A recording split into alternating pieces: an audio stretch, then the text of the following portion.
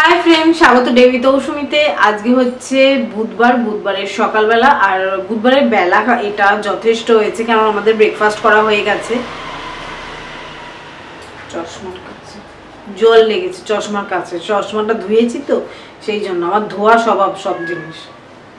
ওই জন্য লাল্টুবাবু আমায় বলে, একটু ছুচি পাই যদিও লাল্টুবাবুকে এখন দেখানো যাচ্ছে না, লাল্টুবাবুর একটা ভিলেন লুক এসছে।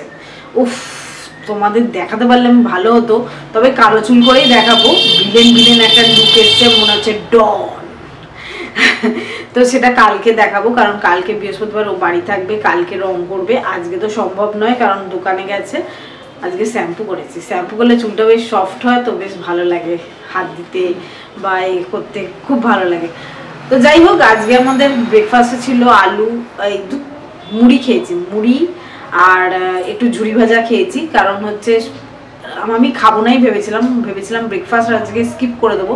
তো লাল্টু বাবুকে দিয়েছিলাম মুড়ি শশা আর ওই চানাচুর দিয়ে মেখে, বাদাম দিয়ে। তো সবটা খেতে পারেনি, অল্প একটু রেখে গেছিল, ওটাকেই আমি খেয়ে নিলাম। তো আমার হয়ে গেল ব্রেকফাস্ট কারণ আর সেরকম কিছু খেতে ইচ্ছে করছে না, অতটা চা খাওয়ার পর আর কদিন ধরে লুচি লুচি লুচি খেয়ে না আমার গা গুলোচ্ছে আর কি। যাই খাবার দেখছি মনে হচ্ছে গা গুলোচ্ছে।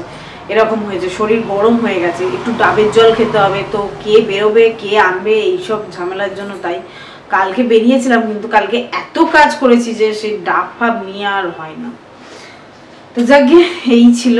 আর আজকে আমাদের লাঞ্চে হবে একটুখানি মুড়ো এনেছে। তো মুড়ো দিয়ে ডাল করব। আসলে পাতার জন্য মাছ এনেছে, কালকে তো বাজার বসবে না, তো সেই জন্য পাতার জন্য বেশি করে মাছ এনেছে। তার মানে সেই মাছের সাথেই একটুখানি মুড়ো দিয়েছে। তো অনেকদিন মুড়োর ডাল করিনি।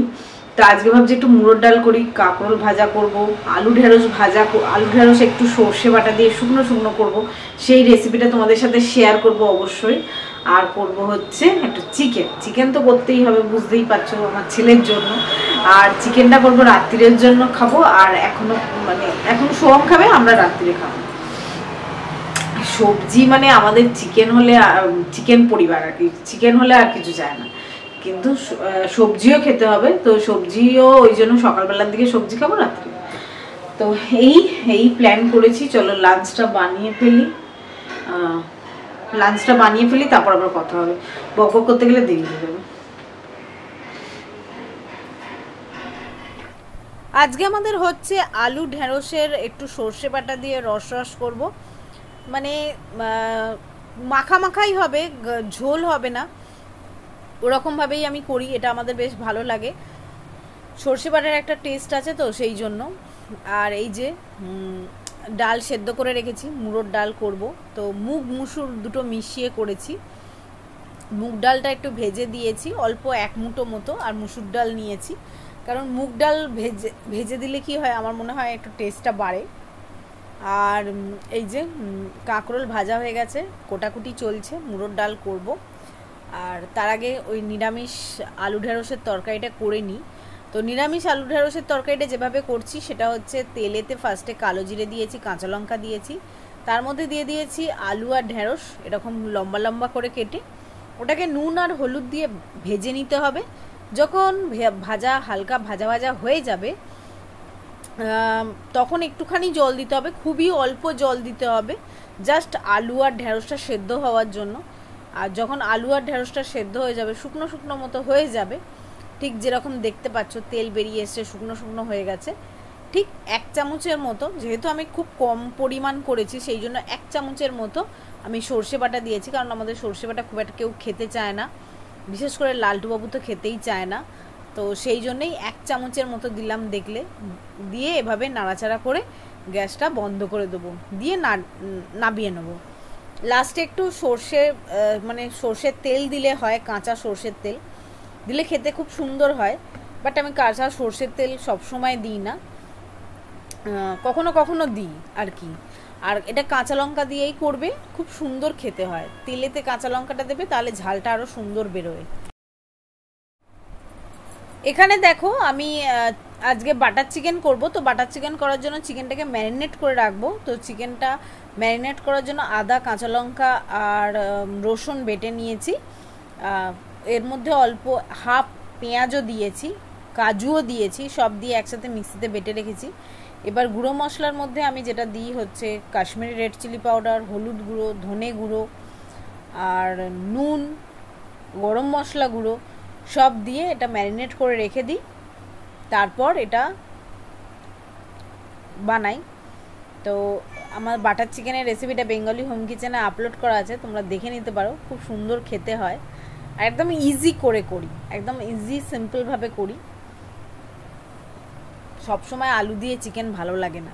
তাই মাঝে মাঝে এইরকম ধরনের চিকেন করলে আমার বেশ ভালো লাগে। নুনও দিয়ে দিচ্ছি, একটুখানি এ দিই, ভিনিগার দিই। ভিনিগার দিলে চিকেনটা সফট হয়। এছাড়া তোমরা দিতে পারো হচ্ছে লেবুর রস। আর গ্যাসটা খুব নোংরা হয়ে রয়েছে, আগেই বলে দিচ্ছি, কারণ রান্না আমার হয়ে গেছে, এটা লাস্টে ম্যারিনেট করে রাখছি। তো সেই জন্য গ্যাস এখনও পরিষ্কার করা হয়নি।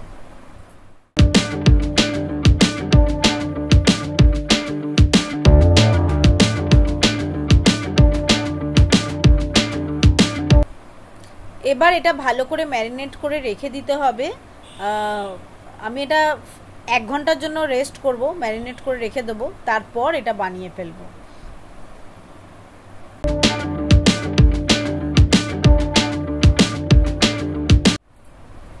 তো এখানে দেখতেই পাচ্ছেন মুড়োর ডাল করছি এখন। মুড়োর ডালের জন্য মুড়োটা খুবই ছোট্ট মুড়ো একটা নিয়ে এসছে। ওই মুড়ো দিয়েই করব। জাস্ট ডালটা একটু খালি মুড়োর টেস্ট আনার জন্য আর পেঁয়াজ রসুন দিয়ে করার জন্য করেছি এটা। ভালোই হয়েছে অনেক দিন খাওয়া হয়নি, ভালো লাগল খেতে বেশ। সুন্দর হয়েছিল খেতে। আর ডালটা একটু পাতলা করে করেছিলাম, বেশি ঘন করে করিনি, সেই জন্য আরও ভালো লাগছিল।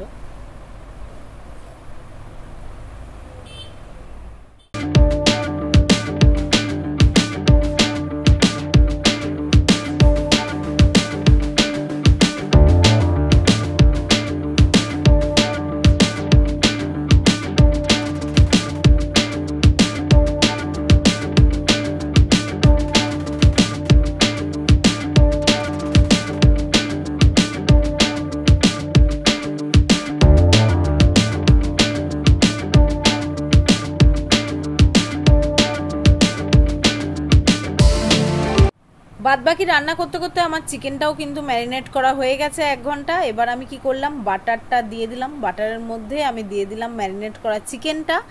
আর আমি এখানে এক চামচ বাটার দিয়েই করেছি, কারণ যেহেতু আমি ম্যারিনেট করার সময় এক চামচের বেশি সাদা তেল দিয়ে রেখেছিলাম, তাই এই বাটারের মধ্যে আর সাদা তেল দিলাম না, কারণ অল্প তেলেতেই আমি করি। আর এইভাবে ম্যারিনেট করা চিকেনটা এবার কি বলব, টিক্কা টাইপের করে নিতে হবে। একদম এক জাস্ট হাফ একটা পেঁয়াজ দিয়ে করেছি। তো এই মশলার সাথে এটা কষিয়ে একদম মানে ড্রাই করে নিতে হবে। তারপর এর মধ্যে আমি এ করি। একটু অন্যরকম করে করি আমি আর কি। একটু অন্যরকম করে করলে কি হয়, নানান রকম টেস্ট আসে। আর আমরা যেহেতু এত রকম, এত চিকেন খাই, তো একটু একটু অন্যরকম করলে তাহলে মনে হয় একটু নতুনত্ব হয়েছে, তখন খাওয়ার ইচ্ছেটাও হয় আর কি। আর টেস্টটাও পাওয়া যায় যে কি টেস্ট হলো ডিফারেন্ট কি হলো আর কি এই। তো রেডি হয়ে গেছে, অনেকটাই আমার বাটার চিকেন হয়ে এসছে। লাস্টের দিকে আমি এর মধ্যে দিয়ে দিচ্ছি হচ্ছে ক্রিম ফ্রেশ ক্রিম আমুলের। আর তার সাথে দিয়ে দেবো কসুরি মেথি। শুকনো খোলায় রোস্ট করেই দিই আমি কসুরি মেথিটা। আর লাস্টে নাবান মানে শেষ হয়ে গেলে আমি এক চামচ বাটার দিয়ে দিই। ব্যাস, খুব কম তেলে হয়ে যায়। আর খুব সুন্দর খেতে লাগে। আর নতুন নতুন টেস্ট হলে বোঝা যায় যে টেস্টের তফাতটা কোথায় হচ্ছে? কীভাবে রান্না করলে কি রকম টেস্ট হচ্ছে? এইভাবেই করতে করতে এত রকম রান্না শেখার এত রকম রান্না ওদের খাওয়ানো। ওরাও খেতে ভালোবাসে, আমি রাঁধতেও ভালোবাসি। সেই জন্য আমাদের চেহারা কারোর কমছে না। সব আমরা মোটা হয়ে যাচ্ছি। তো ঠিক আছে। খেয়ে সুস্থ থেকেই, খেয়ে সুস্থ থাকাটাই আসল কথা। খেয়ে সবাই সুস্থ থাকুক, এটাই আমি চাই। তো রেডি হয়ে গেল একদম।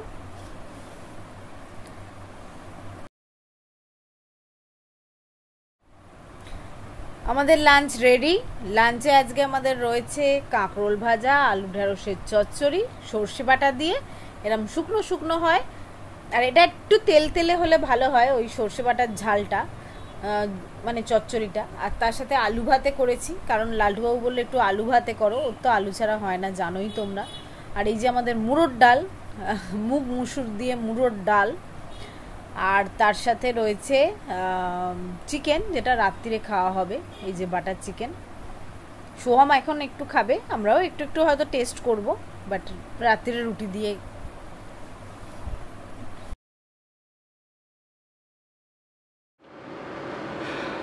খাওয়া দাওয়া আমাদের কমপ্লিট খাওয়া দাওয়া কমপ্লিট করে একটু রেস্ট নিয়ে তারপরে এসেছি, চিন্তা করো না যে খাওয়া দাওয়া করেই চলে এসেছি তা নয়।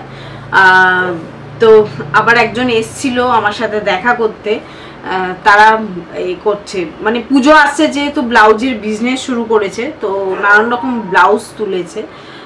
আমি তার কাছ থেকে দুটো নিয়েছি দুরকম নিয়েছি।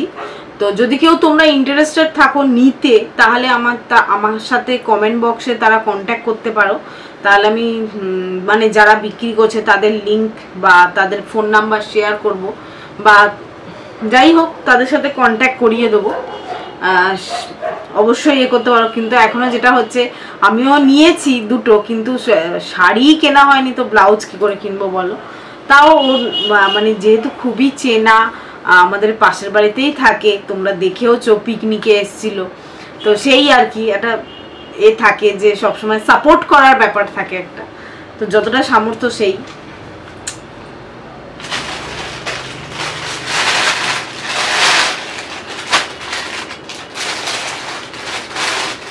যদিও এগুলো এখন পড়া সম্ভব নয়, কারণ সবই স্লিপলেস তো স্লিপ লাগাতে হবে, ভেতরে সব কটারে স্লিপ রয়েছে। আর এটা ভীষণ নতুনত্ব এবং স্টাইলিশ লাগল। কালারটা কালারটাও নতুনত্ব বলতে পারো, এরম কালারের আমার কোনো ব্লাউজ নেই, তো আমি নিলাম, জানি না এটা পরে কালো লাগবে কিনা। যদিও আমি কালো লাগুক, ফর্সা লাগুক, সেটা কোনো ব্যাপার না। শাড়ির সাথে যখন তুমি ম্যাচিং করে পরবে, বা ও পুরনো শাড়িকে যখন এইরকম সুন্দর একটা স্টাইলিশ ব্লাউজের সাথে পরবে, কারণ এই ব্লাউজটা এখন ভীষণ এরকম ট্রেন্ডিংয়ে উঠেছে এই এই স্টাইলের ব্লাউজটা শার্ট টাইপের আর কি। তো এটা স্লিপ লাগিয়ে আমি তোমাদের নিশ্চয়ই একটা ভিডিও বানিয়ে দেখাবো। তোমাদের তোমাদের ভালো লেগেছে আমার শাড়ির ভিডিওটা খুব ভালো লেগেছে আমারও সেটা যেটা মিত্রা জুয়েলারির সাথে আর কি আমি কম্পেয়ার করে করেছি। খুব ভালো লেগেছে আমার, কারণ আমি অনেক দিন বাদে এই ভিডিও বানিয়েছি, আর যখনই বানাচ্ছি তখন সোহম বলছে, মা অনেক দিন বাদে বানাচ্ছি। বলছি হ্যাঁ। সেই আর কি, ও অনেক খেটেছে ওই ভিডিওটার ওপর। কারণ ভিডিও তোলা, ছবি তোলা তার সাথে, আর আমার তো পছন্দই হয় না ছবি। বারবার বলি যে এই ছবিটা তুলেছিস, আরও আরও একটু ভালো করে তোল, আরও একটু ভালো করে। মানে ধরো একটা এক একটা মেকআপ লুকে বা এক একটা শাড়ির লুকে ধরো কুড়ি থেকে পঁচিশটা করে ছবি তোলা, নানান রকম পোজে তোলা, কোন পোজে ভালো লাগছে, কোন পোজে রোগা লাগছে, কোন মানে সব কিছুই চুল বাঁধারা কীরকম এসছে মেকআপটা কতটা আসছে, শাড়িটা কতটা আসছে জুয়েলারিটা কতটা ফোকাস হচ্ছে মানে সব কিছু মিলিয়ে তো একটা ছবি তোলা বলো ভিডিও তোলা বলো তো সেই কাজটা যে করতে পেরেছে সেই জন্য ওরও সময় আছে, এখন পড়াশোনা নেই এনে সেই জন্যেই ভাবছি যে থাক, ঠিক আছে, কিন্তু সব থেকে এগুলোর মধ্যে যেটা হয়েছে, আমি হাঁটতে না গিয়ে গিয়ে আমার একটু মানে পেটে চর্বি হয়ে গেছে, একটু মোটা হয়ে গেছে, একটু ফ্যাটি লাগছে দেখতে, আর শাড়ি পরলে বেশি ফ্যাটি মনে হয়, কারণ হচ্ছে জামা থাকলে কি হয়, সেটা চাপা থাকে, কুর্তি পরলে চাপা থাকে, কিন্তু যেটা শাড়িতে কি হয় মানে বেলি ফ্যাটটা বা এটা বেশি বেরিয়ে আসে তো সেই ক্ষেত্রে একটু মোটা মোটা লাগছে, যদিও ঠিক আছে। আমার কোনো সমস্যা নেই। রোগা, তোমরা যদি রোগা হয়ে থাকো, রোগা আইডিয়া শেয়ার করা, এটার মাধ্যমে হচ্ছে আইডিয়া শেয়ার করা যে কীরকম কি সাজলে, কি শাড়ির সাথে কি ব্লাউজ পরলে কন্ট্রাস্টে কীরকম আসে, সেটা একটা। এই আর কি, এরকম লাখো লোকেরা করছে, হাজারো লোকেরা করছে। আমি আমার স্টাইলে করলাম। আমার খুবই সীমিত এসব, এ কারণ বুঝতেই পারছ আমি এসব ভিডিও বানাই না, যেহেতু আমার স্টাইলিশ খুব একটা ব্লাউজ নেই। তবে হ্যাঁ আমি নিজে সাজতে খুব ভালোবাসি, নিজে এইসব করতে খুব ভালোবাসি। সেই জন্য হয়তো আমি কেনা আমার বাই আছে শপিং করা আমার মানে একটু বলতে পারো এ আছে। তো শপিং করলে মন ভালো হয়ে যায় আমার ভীষণ। বেশি দামি জিনিস নয় হালকা হালকি টুকিটাকি শপিং করলেই আমার মনটা ভালো হয়ে যায়। আর আমার এই রোগটা আমার ছেলে পেয়েছে। ওরও হাজারটা জামা, হাজারটা জিনিস কেনার স্বভাব। এই, তবে হ্যাঁ আর একটা খুব জিনিস নিয়ে আসব যেটা আমি মানে ভিডিও রেডি করছি। সেটা হচ্ছে যে, এটা হচ্ছে মাথায় সাজানো। জানো তো, কিছু দেখলে সেটা যতক্ষণ না মানে যেটা ধরো পছন্দ হয়েছে বা যেটা করব বলে ভাবছি, তো সেটা যতক্ষণ না আমি মানে ক্যামেরায় মানে করে উঠতে পারছি, ততক্ষণ মানে আমার, কি বলব নাওয়া নেই, ঘুম নেই, এ নেই, আমার কিছু হয় না। তো সেই জন্যই আমি কালকে ওই গাজরাগুলো কিনে নিয়েছি তোমাদের দেখিয়েছি, গাজরা বা যাই হোক কি বলে ওগুলোকে আমি ঠিক জানি না। তো ওইগুলো কিনে নিয়ে এসেছি। ওগুলোর ওপর একটা মানে চুলের ভিডিও বানাবো।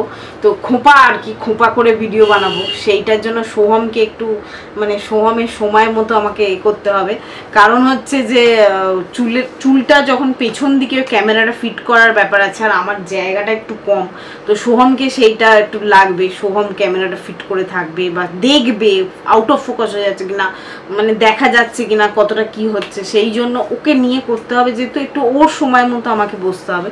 ওর সকালবেলা ফ্রি থাকে, কিন্তু সকালবেলা আমার ফ্রি হয় না। মানে আমার রান্না বান্না সব কিছু সংসারের সামলে বিকেলবেলাটা আমি ফ্রি রাখি, কিন্তু এখন বিকেলবেলা ও পড়ানো ধরেছে, তো ওর এখন মানে বিকেলবেলাটা পুরো সন্ধ্যেটাই ধরো চলে যায়। এরামই। আর তারপরে কি বলতো, একটা টাইমের পর এই যে ন, সাড়ে নটা বাজে এখন। তো সাড়ে নটার পর কি আর এনার্জি থাকে যে ওর ছাত্রছাত্রীরা যাওয়ার পর আমি ভিডিওটা শ্যুট করব এরকম তখন আর হয় না, হয়ে ওঠে। তো যাই হোক তাও করব। মনস্থির করেই রেখেছি, একদিন রান্না টুক করে কমিয়ে দেবো। করিয়ে, কমিয়ে দিয়ে সেদিন করব ওই রকমই করি, রান্না কমিয়ে দিয়ে সকালবেলার দিকে এই ভিডিওগুলো শ্যুট করি। যেহেতু ছবিটা ভালো আসে, ছাদে ভালো আসে, ছাদ, গাছপাত, ফুল, ফল এলে তো এই আমার ছাদ বাগানে আর কি। অবশ্যই গাছ নিয়ে তোমরা একটা ভিডিও বলেছ, গাছ নিয়েও ভিডিও বানাবো। খুব তাড়াতাড়ি বানাবো। সকালবেলা এত রোদ্দুর পাচ্ছি না। আর বিকেলবেলা ওঠা হচ্ছে না, নানান রকম কারণে, এই। তো চলো, এখন রাখি।